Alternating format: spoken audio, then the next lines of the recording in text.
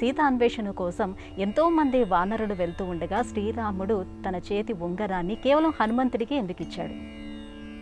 ఇది వ్యక్తికి సంబంధించిన ప్రాధాన్యతను వివరిస్తుంది.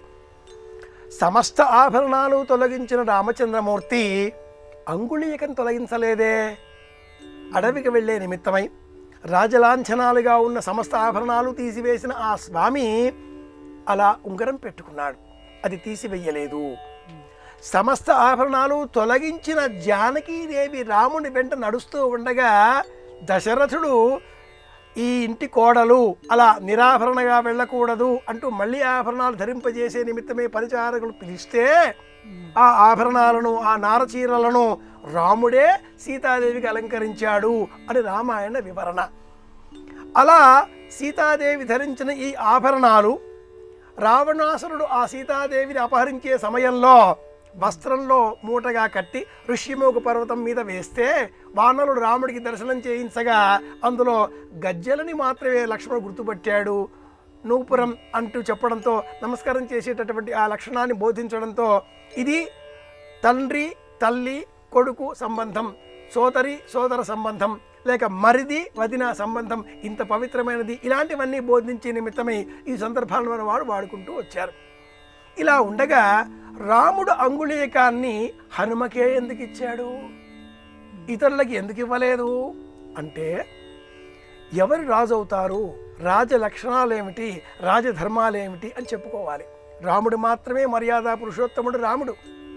రాజుకుండే లక్షణాలలో మొట్టమొదటి లక్షణం ఎవరు ఏ పని చేస్తారో వారికి ఆ పని అప్పగించడం. చుట్టూ అందరు ఉంటారు.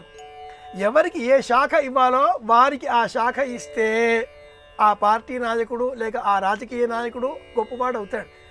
ఇంటిలో కూడా ఎవరు ఏ పని చేయాలో వారికి ఆ పని అప్పగించాలి వారే ఆ పని చేయడానికి సమర్థులు. దేవతలు రావణ సంహార నిమిత్తమై విష్ణువు రాముడిగా జన్మించాడు అని తెలియగానే ఇంద్రుడు ఇంద్రశక్తి అంతా కూడా వాలి. అలాగే ఇతర సంబంధంగా బ్రహ్మమానస పుత్రుడిగా జాంబవంతుడు అనేక దేవతల రూపాలలో ఈ వానరులంతా కూడా జన్మించినట్లుగా మనకు రామాయణమే వివరిస్తుంది. ఇందులో వాలి ఎలా అయితే మనం ఇంద్రుడిగా భావన చేస్తున్నామో సుగ్రీవుడు ఎలా సూర్యపుత్రుడిగా సంభావన చేస్తున్నామో అలాగే హనుమంతుడు వాయుపుత్రుడు కేసరీనందనుడు సాక్షాత్తు ఈశ్వరాంశ సంభూతుడు వాలి బాలము తోక పార్వతీదేవి. సమస్తము తెలిసిన వాడు రాముడు. కనుకనే అంగుళీకాన్ని హనుమకు అందించాడు. హనుమ ఆ అంగుళీకాన్ని సీతాదేవికి అందించాడు. రామాయణం కథ సుఖాంతమైంది.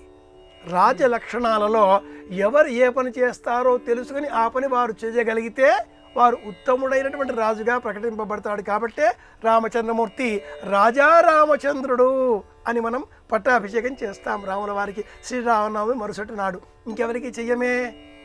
రాముడికి మాత్రమే.